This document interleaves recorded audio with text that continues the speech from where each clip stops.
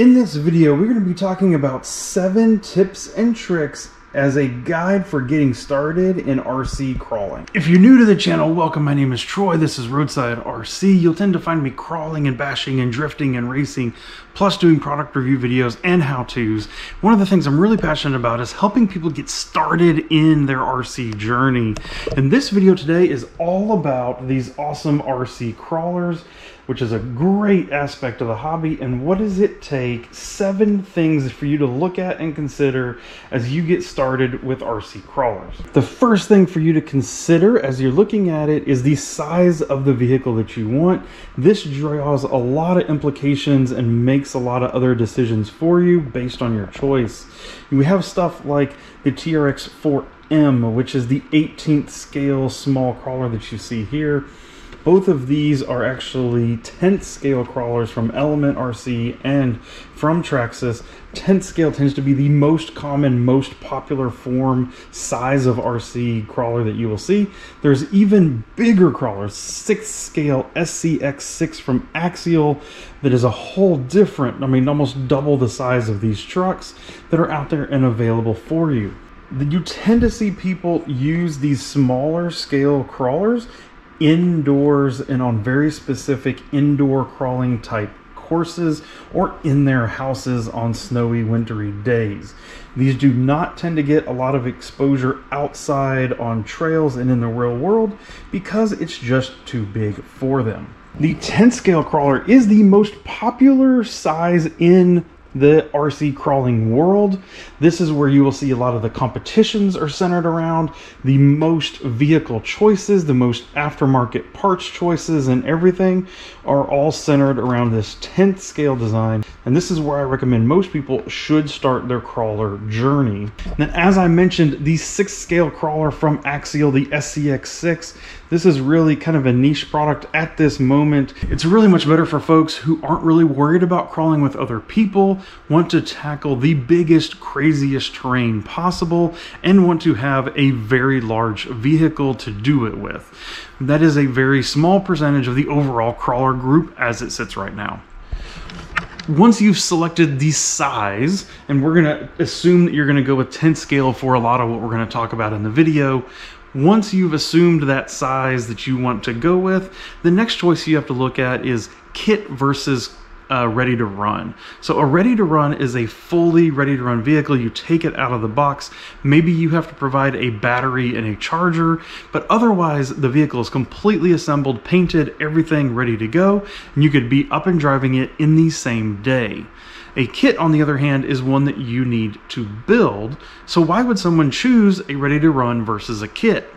If you're getting started in RC crawling, I actually do recommend that you start with the ready to runs. They are very good quality anymore these days. Yes, you will eventually end up replacing some of the electronics, but you're going to be doing a host of upgrades and changes to these vehicles anyway over time. It's kind of part of the fun of it. On the other hand, once you do have more experience, something like a kit, which is how this TRX4 Sport actually started, was as a kit version, can be quite entertaining. This can be quite fun because you get to then choose all the components, your own paint jobs, everything on it straight from the beginning. So you're actually upgrading it and making a better vehicle all from the beginning instead of buying some components that maybe you wouldn't have wanted otherwise. Since I assume most folks are going to be starting 10 scale and ready to run, here are some of the vehicles that are my top picks for ready to runs right now. You will see that all of these recommendations for ready to runs are basically in the three to four hundred dollar range. Again, you're going to want to add a battery and a charger to that. The first of our recommendations is the Redcat Gen 8. This is a very good quality crawler with portal axles and a lot of great features out of the box for just over $300. I have personally found it to be very capable and pretty durable as we use it, and then there has been enough of an aftermarket out there that we could really tweak and refine this truck as much as we wanted. Really enjoyed it, and I think it's a great starter platform at a very reasonable price. The only vehicle on my list that actually is a lower price than that Redcat Gen 8 is the brand new Element Enduro SE. This is just released and I have not personally been able to get my hands on it yet, but I do have experience with its bigger brother or its older brother, the Ecto, and it shares a lot of the parts and a lot of the architecture, and everything that I've seen so far says that this is going to be a very good crawler at $299. It's the only one that comes in under the $300 mark. Um, there are some drawbacks to this Element Enduro SE. It does have bushings instead of bearings. It does have a slightly bigger body on it, but it does look very good. This is definitely a truck that you could get into, has a some clear upgrade paths to it, and performs really well. Its older brother here is the Element Ecto. And I do bring this up even though it is at the top of the price range for what I'm talking about for folks getting ready. This truck right now is $399. It's $100 more than the Enduro SE. However, what I will say is it has been the best, single best, ready to run crawler that I have ever had. Um, the electronic components in it are rock solid out of the gate. The tires, although I have replaced and upgraded them, the stock tires are actually really good. And the overall chassis layout, uh, weight layout, everything like that has been very, very good for me. So, one of the most capable vehicles straight out of the box. It is more expensive but it may be a little bit cheaper once you consider the upgrades that other vehicles are going to get thrown at them. The last suggestion that I'm going to make for an out-of-the-box ready to run is actually the TRX4 Sport. Again, this started as the kit, but you can also get it in ready-to-run form. It has some of the best tires a ready-to-run has coming with it. It is a very capable and probably one of the most durable ready-to-run crawlers on the market at just at $369 it is still right in the middle window of all those prices that we've talked about. Uh, parts support is galore. It is, has all the parts all the upgrades, everything that you could possibly want for it. It is out there for that TRX4 Sport, and there's guides and everything for it. It is a very solid choice as a ready-to-run crawler. Now you'll notice that all the vehicles I have suggested are all the scale truck looking vehicles. There are some more rock racer style vehicles out there, such as the Axial Wraith, Axial Bomber, and the Axial Capra. However, I am not recommending those. Those can be fun. The Wraith and Bomber have been really hard to come by here recently, uh, and the Capra is currently going through a transition. Plus, its price point is much higher. It is in the $500 price range. It is much higher than what these other vehicles are that I have suggested. Performance is good, but I don't know if it really necessarily justifies that price point for someone getting into crawling. If that 299 price tag for the Element Enduro SE plus battery and charger is still too much for you getting into RC crawling, there are cheaper options. I will say though, I did not recommend them for a reason. As you go cheaper from that vehicle, you do tend to lose a noticeable amount of performance. I do, I've messed with some of these vehicles, such as this Danchee Ridgerock. It is four wheel drive. It is pretty capable out of the box, but it is just not, it still leaves a lot on the table for about that $100 that you're giving up. Same thing with uh, Redcat actually offers the Gen 7, which is a cheaper alternative to the Gen 8. The problem is, is the performance gap between the Gen 7 and the Gen 8 is just so large that it's really worth saving up the extra money and and buying the Gen 8 or one of these other better vehicles. The pro for you is that if you do buy these better vehicles, they will, and you turns out you don't like RC crawling, they'll actually have better resale value. So I don't really recommend as a beginner picking up one of those cheaper vehicles. I really would suggest one of the ones like we've talked about here. Item number four is talking about what kind of kit you may want to build. If you already have other RC experience, if you have some folks around you to help you pick out the appropriate components and to get them set up appropriately in the vehicle, then you can go with a kit. Three of those that I would recommend if you are going to get it one is the Vanquish Phoenix kit, which comes in around 399. So it is expensive. It is a high quality kit. It does require require a lot of different electronic components to get it fully up and running, but it is definitely a top of the line, very nice kit for you to build. The second, like I mentioned, is that I built this TRX4 Sport kit. And when I say I built it, I'm actually I'm actually not being truthful a little bit here. Actually, my like nine year old son at the time built this truck, so that gives you an idea of how good the instructions were from Traxxas on this crawler as a kit.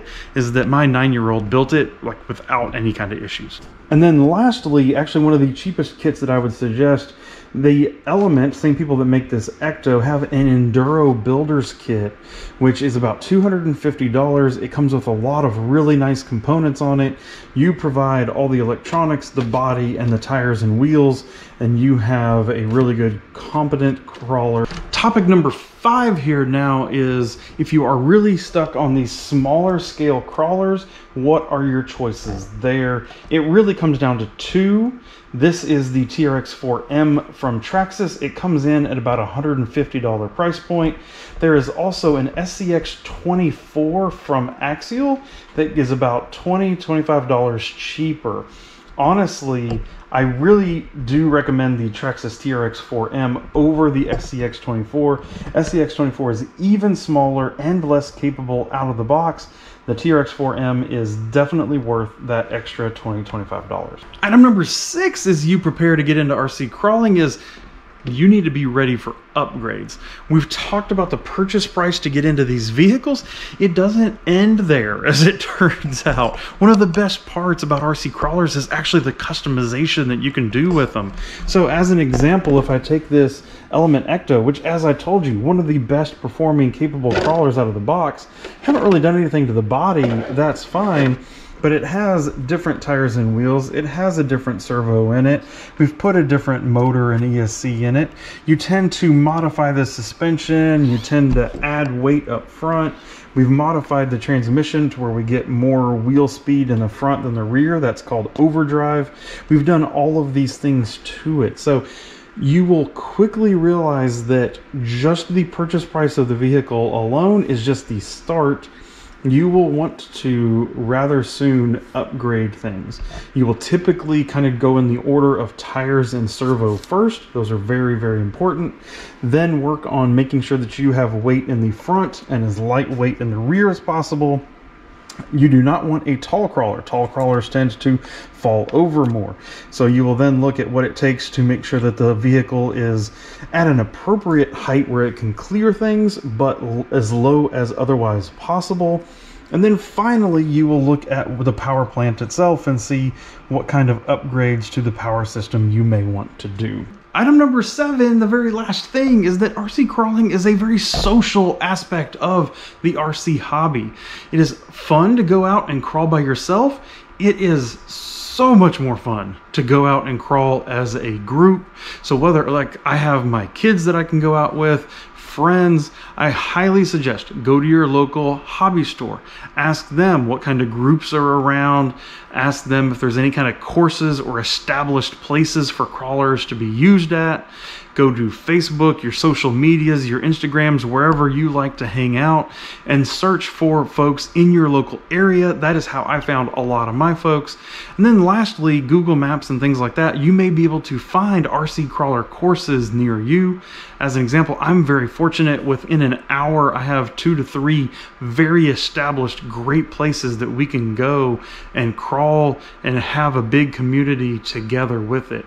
That is really, honestly, what really takes RC crawling to the next level is being able to do that. So as you start to get into this RC crawler hobby and you're doing that kind of research, poke around and see who's around and what's around. That'll also help you choose, as we talked about very early on, like what size of vehicle to use. As an example here in Middle Tennessee, there's not a lot of places uh, currently established for these smaller crawlers, but we have a lot and a lot of spaces set up for the 10th scale crawlers. And kind of the bonus item here in this video, the number eight bonus tip that you get here is like I said, most of these ready to runs don't come come with a battery and a charger. Now, wherever you are purchasing the vehicle from, those folks will probably be very happy to help you pick out a battery and a charger to go along with the vehicle. I also have a video right over here that I will leave you with that is all about how to select a LiPo for your vehicle and some links to some popular chargers that I like to use and I have tested and personally vetted out will be in that video. So I will see you over there. Thank you and goodbye.